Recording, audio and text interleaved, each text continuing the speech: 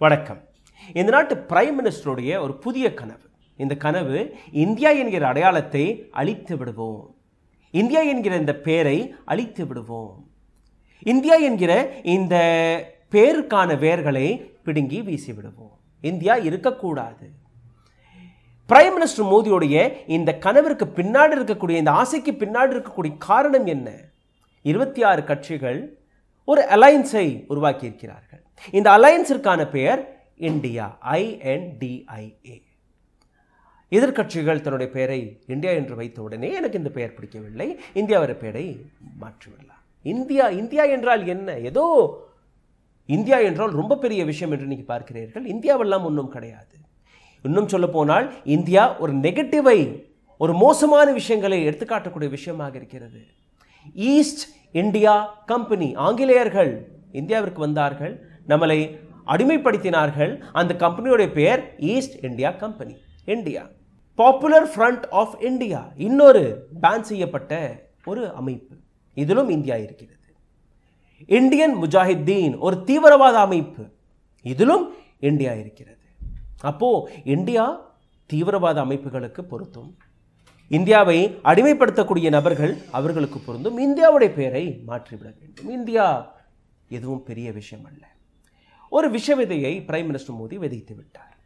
ஆனால் இந்த விஷ விதையை விதைத்ததற்கு பின் அந்த விதையில் தண்ணி ஊற்றுவது அதை செடியாக்குவது அதை மரமாக்குவது அதை ஒட்டுமொத்த இந்தியாவில் ஒரு ப்ரொபகண்டா வழியாக பரப்புவக்கூடிய வேலையை இன்னைக்கு பிஜேபியின் ஐடி செல் பக்தர்கள் பிஜேபியின் எம்பிக்கள் அமைச்சர்கள் அனைவருமே கையில் எடுத்து விட்டார்கள். மணிப்பூரை பற்றி நாம் பேச மாட்டோம் ஆனால் இந்தியாவை பற்றி பேசுவோம். என்டிஏ வர்சஸ் இந்தியா எப்படி இந்தியா என்கிற அடையாளம் இருந்தால் தானே அந்த விஷயத்தை நீங்கள் பேசுவீர்கள். அதனால் இதை பற்றி நீங்கள் பேசக்கூடாது. இதே போன்ற ஒரு எம்பி கிளம்பி இருக்கிறார். அதாவது இந்தியா என்கிற இந்த வார்த்தையை அழித்து பாரத் என்று மாற்றிவிட வேண்டும். கான்ஸ்டிடியூஷன்ல இருந்தே இந்தியா என்கிற இந்த வார்த்தையை அழித்து விட வேண்டும். யார் கூறிய வார்த்தை? ராஜ்யசபாவின் எம்பியான நரேஷ் பன்சல் பிஜேபியின் எம்பி இவர் இந்த விஷயத்தை எடுத்து வைத்திருக்கிறார். என்ன பேசியிருக்கிறார்? அதை பார்த்து விடலாம். ஆனால் அதற்கு முன் ஒரு பட்டியலை நான் உங்களுக்கு காட்டுகிறேன். Prime minister of India president of India supreme court of India election commission of India reserve bank of India Khelo India India shining Jeeto India start up India BJP for India இத்தனை பெயர்கள் இருக்கிறது. இதை எப்படி மாற்றுவீர்கள்?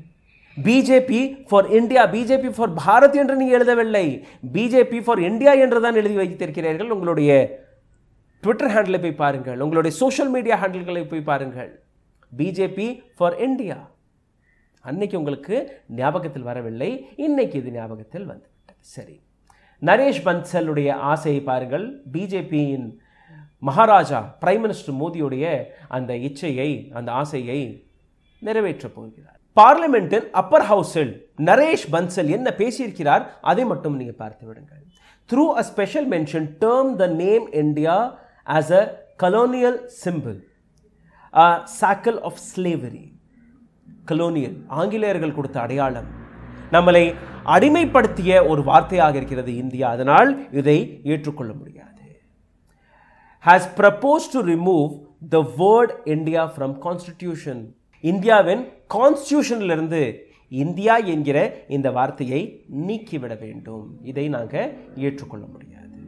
இதை ஒரு ஆர்குமெண்ட்டாக எடுத்து வைக்கும்போது அவர் கூறிய அந்த வார்த்தையை கொஞ்சம் கேட்டு பாருங்கள். போன வருடம் நரேந்திர மோடி அவர்கள் இந்த நாட்டு பிரைம் மினிஸ்டர் ஆகஸ்ட் பதினஞ்சாம் தேதி இரண்டாயிரத்தி இருபத்தி ரெண்டாம் ஆண்டு செங்கோட்டையிலிருந்து பேசிய அந்த வார்த்தையை ஞாபகப்படுத்தி பாருங்கள். The country to free itself from symbols of slavery இந்த நாடு அடிமைத்தனத்திற்கான எந்த அடையாளத்தையுமே வைத்துக் கொள்ளக்கூடாது அதனால் இந்தியா என்கிற இந்த பெயரும் அந்த அடையாளம்தான். இதையும் நீக்கிவிட வேண்டும்.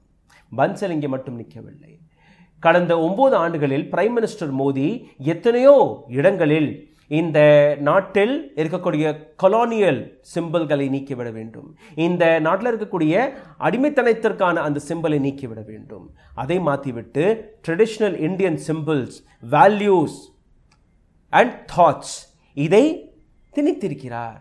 இந்த நாட்டுடைய கலாச்சாரம் இந்த நாட்டுடைய கொள்கைகளை இந்திய கொள்கைகளை இந்திய பெயர்களை எடுத்து வைத்திருக்கிறார் பிரைம் மினிஸ்டர் மோடி. எவ்வளோ பெரிய சாதனை. அதனால் இந்தியா இதற்கு மேல் இருக்கக்கூடாது இந்தியா என்கிற வார்த்தை ஆயிரத்தி தொள்ளாயிரத்தி நாற்பத்தி ஏழாம் ஆண்டு இந்த நாட்டு ஃப்ரீடம் ஃபைட்டர்ஸ்கள் தன்னுடைய உயிரை கொடுத்து இந்தியாவை சுந்தரமாக்கியதற்கு பெண் ஆயிரத்தி தொள்ளாயிரத்தி ஐம்பதாம் ஆண்டு ஒரு கான்ஸ்டியூஷன் எழுதப்பட்டது. இந்த கான்ஸ்டியூஷனில் இந்தியா தட் இஸ் பாரத் என்று எழுதிவிட்டார்கள். அதனால் இந்தியா என்கிற இந்த பாரத் பாரத்தை வைத்துக் கொள்ளுங்கள். இந்தியா இதற்கு மேல் வேண்டாம்.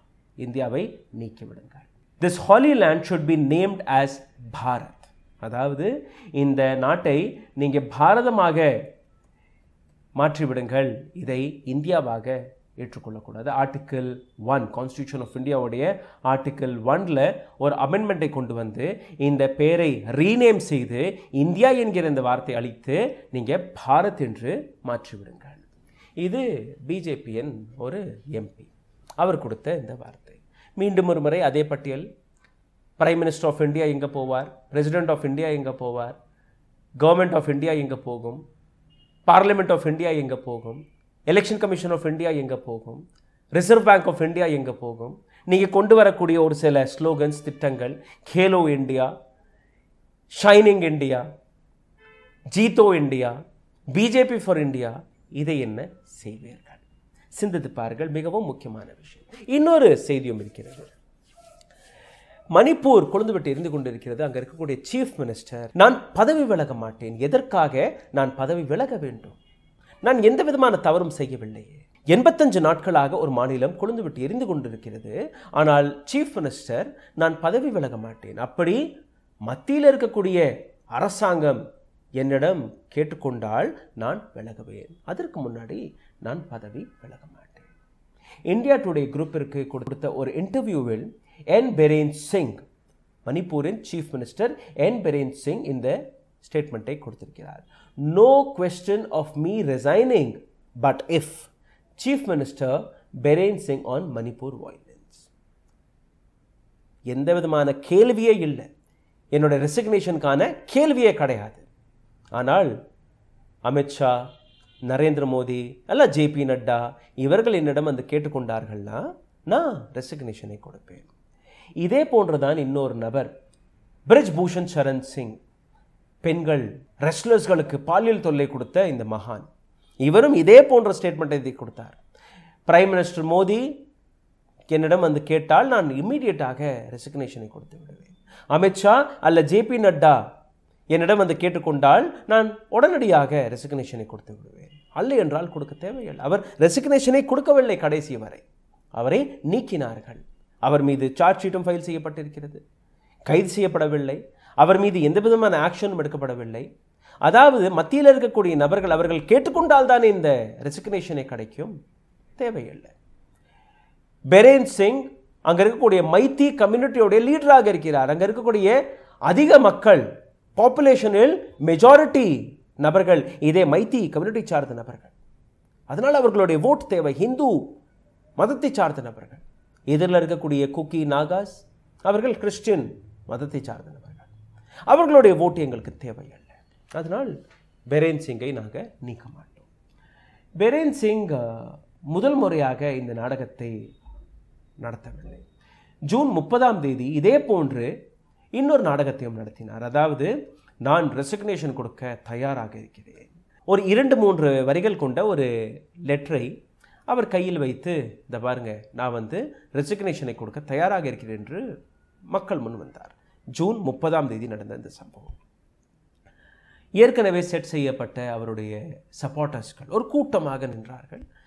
அதில் அவருடைய ஒரு நபர் வெளியில் வந்து பெரேன் சிங்குடைய ரெசிக்னேஷன் கடிதத்தை படிக்கிறார்.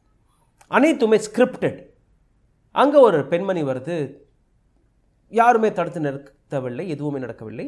அவர் கையில் அவர் வந்து அந்த பேப்பரை ஒப்படைக்கிறார். அந்த பெண்மணியும் அந்த காகிதத்தை வாங்கிய உடனே அப்படியே பிச்சு வீசும்படி வீசுகிறார் ஆனால் அந்த காகிதத்தை இந்த படித்த நபர் உடனடியாக கையில் வச்சுக்கிறார். நீங்கள் பார்க்குறீங்க இந்த வீடியோவை பார்த்து கொண்டு கையில் வச்ச உடனே அவர் என்ன செய்கிறாருன்னா ஒரு டேபிளில் விரித்து வச்சு அதற்கான ஃபோட்டோவை வச்சு அதை சோஷியல் மீடியாவில் பரப்பி விடுகிறார்கள். இந்த ஃபோட்டோவை வைரல் செய்ய வைத்து பெரேன் சிங் எழுதிய அந்த ட்வீட்டையும் நீங்கள் கேட்க வேண்டும். At this crucial junction I wish to clarify that I will not be resigning from the post of Chief Minister. கொஞ்ச நேரத்துக்கு முன்னாடி நான் ரெசிக்னேஷன் கொடுக்குறோம் என்று கூறக்கூடிய இதே சீஃப் மினிஸ்டர் பிரேன் சிங் இந்த லெட்டர் கிழிக்கப்பட்டதற்கு பின் ரொம்பவே ஒரு குரூஷலான நேரம் காலம் இது. இந்த தருணத்தில் நான் என்னுடைய மக்களை விட்டு எங்கேயுமே போக மாட்டேன். நான் ரெசிக்னேஷனை கொடுக்க மாட்டேன். எண்பத்தஞ்சு நாட்கள் ஆகிவிட்டது ஐயா. நூற்றி அறுபதற்கும் மேற்பட்ட பெண்கள் ஆண்கள் குழந்தைகள் கொல்லப்பட்டிருக்கிறார்கள். ஐயாயிரத்திற்கும் மேற்பட்ட வீடுகள் கொளுத்தப்பட்டிருக்கிறது. நாற்பத்தி ஏழுக்கும் மேற்பட்ட கோவில்கள் கொளுத்தப்பட்டிருக்கிறது. இருநூத்தி ஐம்பதுக்கும் மேற்பட்ட சர்ச்சஸ்கள் கொளுத்தப்பட்டிருக்கிறது.